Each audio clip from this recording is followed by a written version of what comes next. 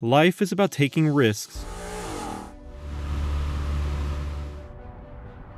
We're all chasing self worth in some way or form. For some, the risks required to reach the ever escaping feeling are significantly more than others. But there is a beauty in that. It is what makes us all different from one another. Try hanging onto an axe that is stuck into a frozen waterfall hundreds of feet in the air. Yeah, that sounds terrifying to me, but others think ice climbing is relaxing. While the sport overlaps the more popular mountaineering, ice climbing can be a little more extreme at times, but it does not have to be. It can also be peaceful and calming to some, but sometimes tragedy is a part of this chase. This is the story of the vertical ice climber, Guy Lacelle.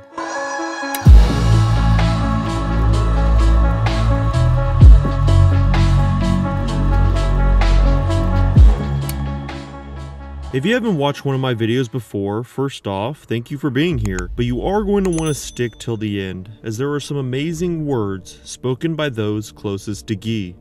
Ice climbing is a majestic dance with Mother Nature. Most of the time, you are scaling frozen waterfalls, the side of a glacier, or maybe climbing through the boulders mixed within ice that make it difficult to find any grip. It is more extreme than normal climbing, as while ropes and harnesses are used in both, ice climbers can be seen wearing crampons that hold their feet in place, and of course, their most valuable tool, their ice axes.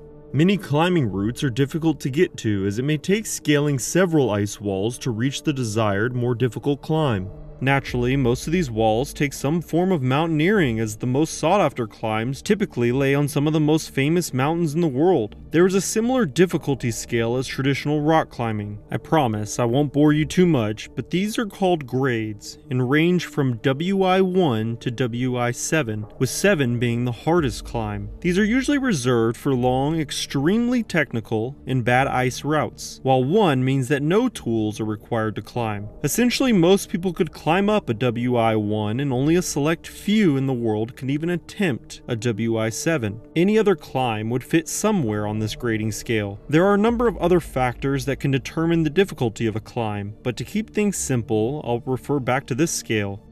If you think that sounds interesting or maybe fun, don't forget the risk of avalanches, falling ice, or simply poor stability on the wall, all increasing the risk that a traditional climber would face.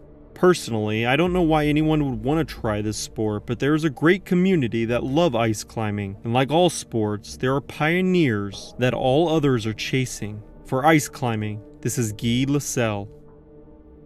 Guy started his career ice climbing while in college at the University of Ottawa and would attempt the 100 meter Le Congelé, a WI3 climb which requires some equipment but is relatively secure and has some areas to even rest. It took Guy over seven hours on his first ever climb, and years later he would solo the same climb in less than five minutes. Guy began traveling to the Canadian Rockies in 1983 and could never get enough of climbing, but there was one thing that set Guy apart from everyone else. He loved to free solo. Free soloing is when someone climbs a route solo and with little to no protective gear. One mistake leads to paying the ultimate price. You may have heard of Alex Honnold, who was made famous by his documentary Free Solo in 2018. What Alex is to traditional rock climbers, Guy is to ice climbers. Someone who can compartmentalize their fear in their brain and push through boundaries that nobody else on the planet would be able to do. It is fascinating to me to learn and watch individuals that can do this and would recommend anyone who is interested to watch the documentary. What stood out most about Guy was not only the accomplishments or first solos of the many walls that he is known for, but his humility and love for his sport. He originally got his degree in physical education, and when he wasn't climbing, he would spend his time coaching and teaching the next generation about mountaineering, the outdoors, and of course, ice climbing. He also loved to write articles detailing his climbs and best tactics in the famous Gripped magazine. All these alone made him locally known, but his name and persona exploded with his triple solo on the trophy wall located on Mount Rundle in Canada. He would climb all three walls, known individually for their difficulty, in one climb the Sea of Vapors, Exterminator, and the Replicant, all three 160 meter WI5 and above routes. While scaling these walls, the ice is not great, there is no place to rest, and you are essentially vertical the entire time. When ice climbing, some walls are split into multiple routes or segments because of the difficulty, time, and physical strength that is required for each. Many routes are an accomplishment by themselves, but becoming the first person to solo all three, now that put Guy where nobody else could touch him. It was also common to find Guy at the many ice climbing competitions in the early 2000s, and he would become the ice champion in Colorado in 2000, 2001, as well as another competition in Quebec in 2004. This led to international recognition, and even more so when he won the Bill March Summit of Excellence Award in 1999. I could make a whole video about his accomplishments alone, and it would still do Guy a disservice to all that he meant to the sport. In December of 2009, Guy traveled to the Bozeman Ice Fest in Montana, one of the premier ice climbing festivals around the world. Guy had missed the competition the prior year in 2008 due to an injury, but was healthy and ready to take on the walls in 2009. To Guy, ice festivals were some of his favorite moments as he was able to enjoy the sport he loved with friends and other passionate climbers. It was early morning when Guy and his partner would set out on the gully wall, in a competition, there are multiple groups of climbers on the wall at any one point in time, so it was no surprise to Guy to see groups already above him. They began their climb. An ice axe swinging into the frozen waterfall, stabilizing his body, then multiple kicks of his crampons into the ice as he planted his feet into the wall, searching for any stability. The same moves he did every year, and quicker than anyone else around. The same moves that he trusted with his life many times. Although he was climbing with a rope and partner, it only slightly changed Guy's usual approach. Since he wasn't free soloing, it would only slow him down slightly, but not by much. They were making their way up the frozen waterfall that was sectioned into two pitches on the side of a mountain. They were challenging for most, but more fun to a climber like Guy. As the day progressed, so did Guy and his partner. It had been over an hour since they had started the two pitch climb known as Silken Falls and were close to eclipsing the ice. They made quick work of the last few feet. They stood on top of the cliff looking down at what they had just accomplished, then quickly gathered their gear and began hiking up to a gully to their next wall of the mountain. It was common, especially in a festival, to complete one wall then hike to another further up the mountain, so the pair was not surprised with the other groups of climbers still ahead of them. It was at this moment, while the pair were hiking, that one of the groups above them gripped their ice axes and struck the slope of the mountain.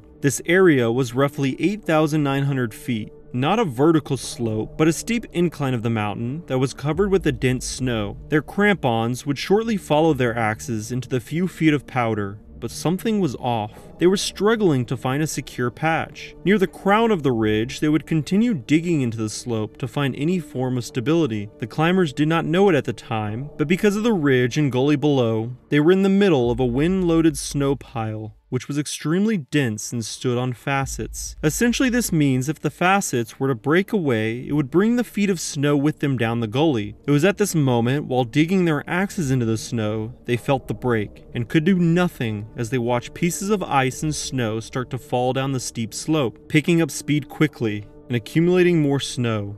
It was a domino effect. Guy and his partner stood in the gully when they heard and felt an ice climber's worst nightmare an avalanche heading straight for them. Not much is known in those last few seconds before the avalanche would hit Guy and his partner, but the gully had several different cliffs and rocks around them, so it could have been very confusing as to where the avalanche was coming from, as line of sight was not clear until the snow was almost upon you. Knowing the climber that Guy was, I can't help but think he fought until the snow took him. The avalanche would hit Guy, and he could do very little as it carried him across the gully and down the ice waterfall. His partner stood off to the side of the avalanche and watched in horror as his friend and mentor was swept off his feet. Guy would be carried to the cliff that he had just finished climbing and down the two pitches of frozen ice before he would come to a stop. The 54 year old had no chance, and the ice climbing community would lose a legend of the sport.